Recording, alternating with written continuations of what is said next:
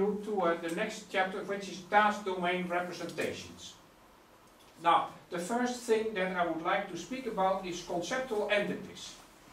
So conceptual entities could be object, event, role, right? So these are conceptual entities. These are and, and, and I'm interested to find the relation to them as well. So first of all, for conceptual entities, you need to describe them and, and I prefer a template, but I'm not telling you you should, but I'll just give you an example. Actually, hopefully, can you read this one?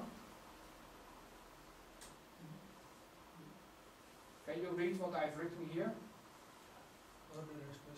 Right, okay. Can you read it? Maybe not. So you're welcome to come and sit here if you want. No sense. No thanks. Okay, it's up to you. Anyhow, I, I did this morning, I decided to, uh, to open my tool for task modeling, which is Euterpe. I will give you the URL for Euterpe. And I created some tasks. And I created a task and I labeled the task order espresso with sugar. And the task has a goal. My goal is to get a drink. And uh, I defined the task as being a unit task. I could also have said it's a complex task, but I defined this a unit task because this is how I live. I want an espresso with sugar. And in my coffee shop in Amsterdam, they know. If I enter, they know he wants an espresso with sugar, right? And, and the task is mainly mental. I don't do too much. Actually, sometimes I just have to enter and they say, okay, I will give you your coffee. And it really happens, even at the railway station in Utrecht, when I enter the coffee shop, the lady puts my coffee there. And I just have to pay, right? So it's, okay, um, command to drink in the shop. And I have a customer card, right? So I, I'm just describing this task in this way. I could have already put a, a, media support to, to give a picture, but this task is so simple that I didn't care to make a picture. But I couldn't describe a lot. I could also describe more things, but so, and, and so this is in my tool, Euterpe. I made it this morning, just for you to show that how easy it is to make.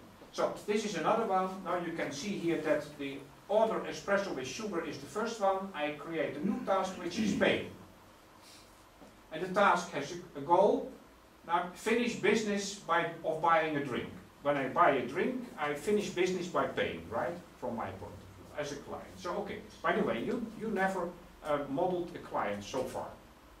The customer, I mean. You did, didn't model a customer so far.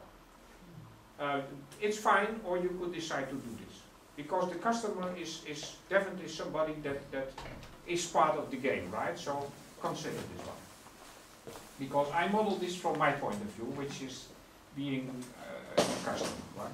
So the customer um, finishes by, by paying um, this task is a complex task, at least for me, because I, I'm not so sure what the price is, and I'm not so easy with, with Chinese money. So for me this means I give some money, I will get money back, right?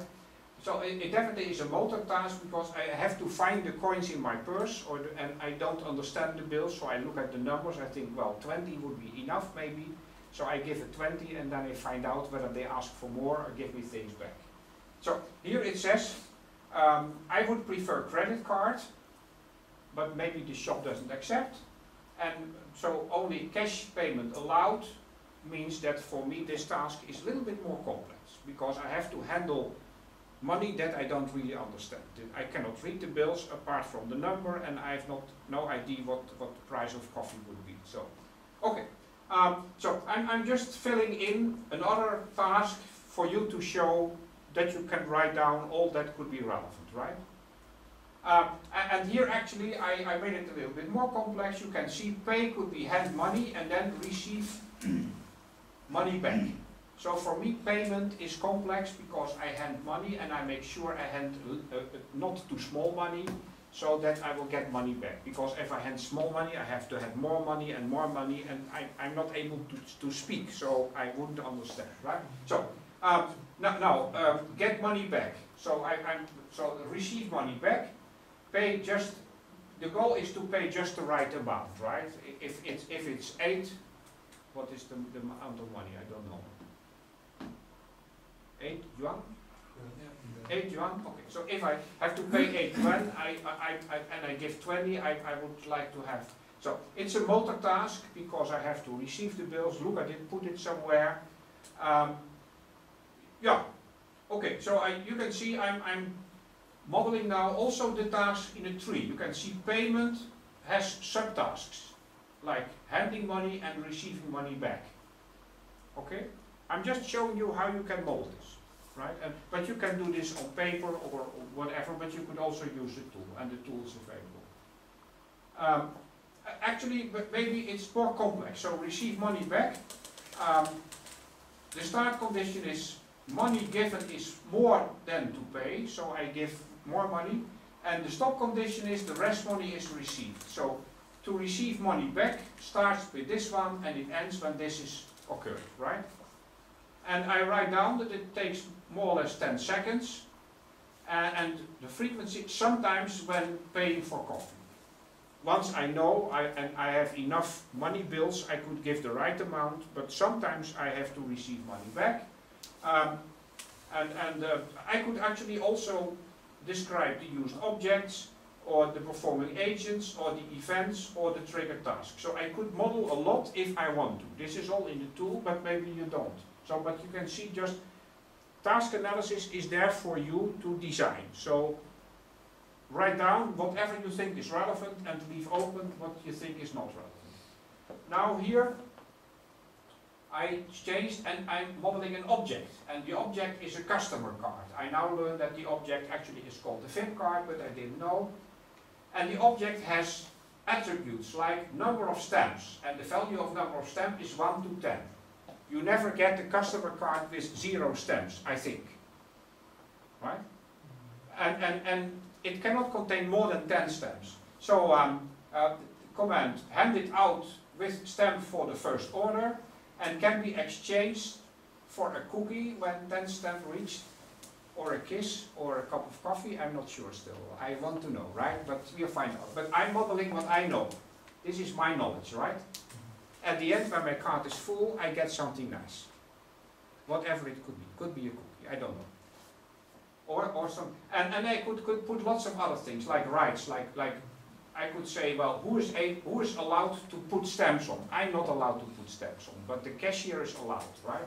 And, and, and so somebody could create, somebody could, whatever is relevant. And I actually could even put a media support. So I actually made a picture of my card and I put the picture here. Right? So you can find my picture, the picture of this object because I think it's relevant. Everything you model, you can put a picture of it, right? So for the card I put a picture um, which is gone. It should be here somewhere. Okay, well, whatever. Um, the, the, the, so, anyhow, um, here I'm, uh, I'm modeling um, a role. So you can see I now changed to modeling roles, and the role I, I model is shop employee. And when I entered shop employee, I found out that there are already several things that could be chosen. So I could choose what is part of the role, like hand money, like order espresso with sugar. Now you know that order espresso with sugar is not something the shop employee should do, but the customer. Like paying. Paying is a task that could be done by the customer, but handing money certainly will be done by the shop employee in giving money back. So you see, this tool allows me to take the tasks and to add them to certain roles if relevant. Okay? And this is a clever system. It's in fact an agent, so the agent helps me to model. And it tells me you already modeled several tasks, but also other tasks could be done, like new, which doesn't mean anything so far. But all the tasks known so far could be added to the responsibilities of the shop employee, or not. Yeah? So this is how you could model. And um, so um, this is another example that Martijn van Welie uh, uh, uh, did. So like play movies. So this is movies are only shown once in the afternoon and twice in the evening in the cinema. And uh, play movie, uh, which is the goal is to perform the core business. And the start condition is the projector should ready, and the stop condition is the end of the movie. And the initial state is no movie shown, and the final state is a movie shown. and the duration of the movie is three hours, and it's performed three times a day. So this is a completely different task, but you can see you can use the same type of modeling tool, or modeling template, whatever you want. Okay? Um, and this is another one, like an event. Email has arrived. Maybe sometimes my machine tells me email has arrived. If, if this is not a result of anything I did, this is an event, and, and it triggers a start reading email. And the email program pops us a window saying that new mail has arrived when, with the question if I want to read it or not. So this is description of an event, right? And there might be events in the shop or not, but if there are, you could model them.